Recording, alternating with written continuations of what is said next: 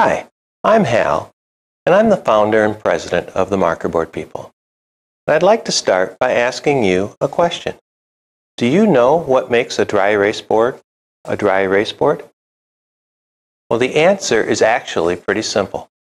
A dry erase surface is simply a solid, smooth, non-porous surface, usually white in color. When we exhibit at these national educational conventions like National Science Teachers, National Math, International Reading, and ASCD, we consistently get asked the same question. One question goes something like this. Hi, our school bought some student dry erase boards. It was from another company, and they're all stained and ghosted. Is there anything we can do?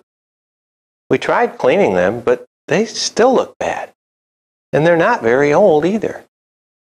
We never used to have this problem before. What's going on? Well, back 15 years ago, all the educational catalogs only sold real dry erase boards. You could find different sizes and different prices, but regardless of the catalog, they were all non-porous dry erase boards. They were all goof-proof. Unfortunately, that's all changed now. Today, about 9 out of 10 of the vendors in educational catalogs are selling pretend dry erase boards. That's right, pretend dry erase boards, defective product. Over 91% of them are selling you low quality, semi porous product. They used to sell the real deal, but good luck today. Many whiteboards and so called write and whiteboards are little more than a coating of white enamel paint on a board. You see vinyl, sheet protectors, and really anything flexible they're all semi-porous surfaces. No wonder markers can soak in and stain them. These dealers may tell you, oh, you should have erased your board right away.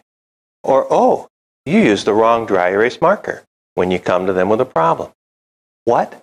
The wrong dry erase marker? Get real. They should not be charging schools real money for pretend dry erase boards. That's my opinion our products will still never permanently stain even if written on with the wrong marker. We can tell you how to clean it off because they're still a non-porous, goof-proof surface like all of us used to make. We still do.